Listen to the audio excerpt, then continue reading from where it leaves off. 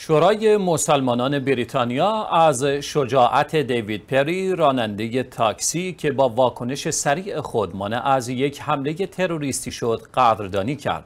به گفته رئیس این شورا این اقدام پری ممکن است از جنایت گسترده تری در شهر جلوگیری کرده باشد.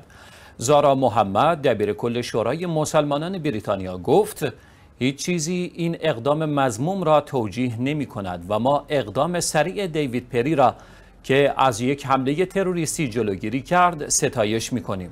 وی افزود حمله روز یک شنبه به شکل یک انفجار در خارج از بیمارستان زنان لیورپول صورت گرفت که جایگاه ویژه‌ای برای مردم لیورپول دارد. بسیاری از مسلمانان در بیمارستان کار می کنند و این بیمارستان همسایه یکی از بزرگترین مساجد شهر است. به گفته پلیس تاکسی پری در خارج از بیمارستان. پس از انفجار وسیله‌ای که توسط یک مسافر وارد تاکسی شده بود سوخت.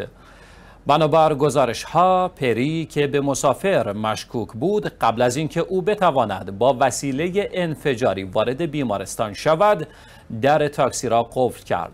بوریس جانسون نخست وزیر انگلیس و همچنین ضمن تمجید از پری گفت به نظر می رسد راننده تاکسی مورد نظر با حضور ذهن و جسارت باور نکردنی رفتار کرده است. صبح روز یک شنبه 14 نوامبر بر اثر انفجار یک تاکسی در لیورپول شهری در شمال غرب بریتانیا یک مرد کشته و راننده تاکسی زخمی شد. هویت مردی که کشته شده هنوز روشن نیست.